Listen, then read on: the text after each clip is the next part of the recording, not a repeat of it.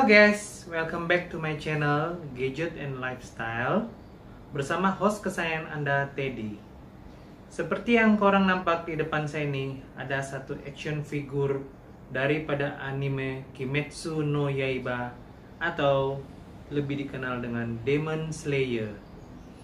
Hari ini saya ada satu action figure uh, si Tanjiro yang bersize 20 cm ini adalah klon daripada brand original Sega. Oke okay guys, saya akan mencoba mereview toys Kimetsu no Yaiba karakter dari si Tanjiro. Oke okay guys, tanpa membuang masa saya akan memulakan. Tapi sebelum itu jangan lupa subscribe, like, dan komen dan yang paling penting, tekan itu butang bell biar korang tidak ketinggalan video terbaru dari saya Gadget dan Lifestyle. Oke okay guys, come on kita tengok macam mana.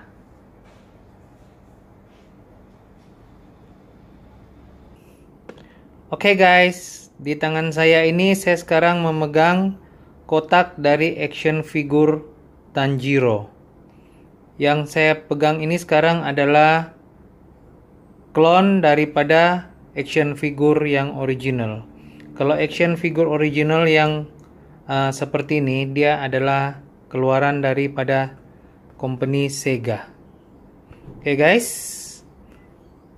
tanpa membuang masa, saya akan uh, mereview si Tanjiro yang klon. Oke okay guys, Inilah yang berada di dalam kotak tadi itu.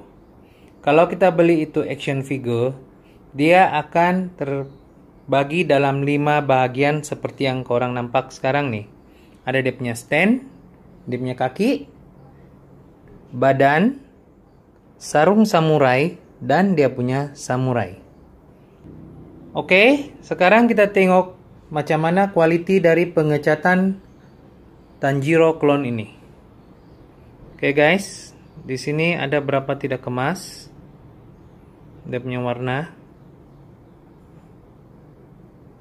Oh iya, untuk pengetahuan korang, saya beli Tanjiro ini dalam harga 35 ringgit untuk versi klon dia.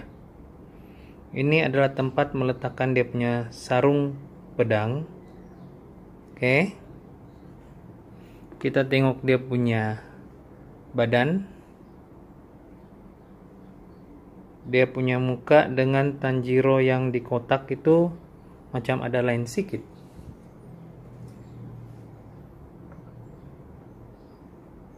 Guys.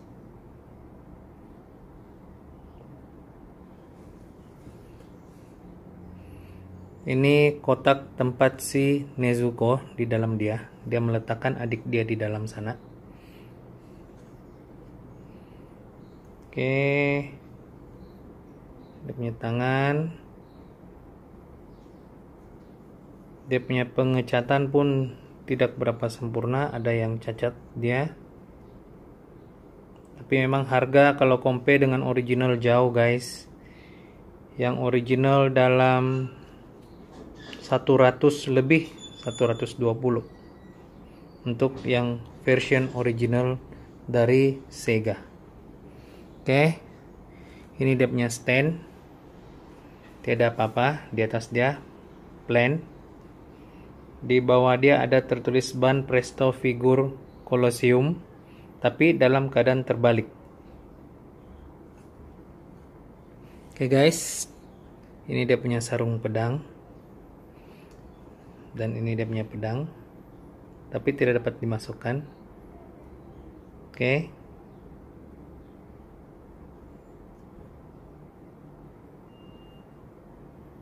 Oke. Cara pemasangan dia terlebih dahulu kita masukkan sarung pedang dia di sini. Tolak. Oke. Sampai paras pinggang. Lepas itu ini ada bentuk dia sama di sini. Kita tinggal cantumkan dia punya badan. Oke. Dan yang terakhir kita kasih dia pegang dia punya pedang.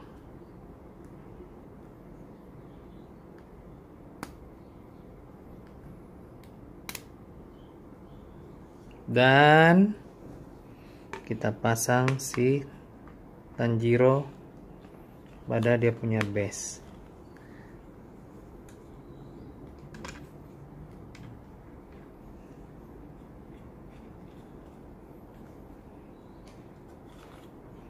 Oke siap guys. Inilah Tanjiro versi clone. Untuk peminat Tanjiro Bolehlah juga untuk beli ini. Karena yang original memang cukup mahal. Oke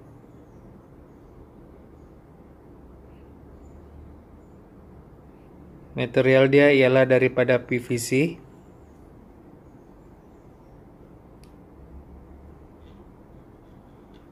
Oke okay guys. Thank you karena sudah jalan-jalan ke channel saya dan support saya.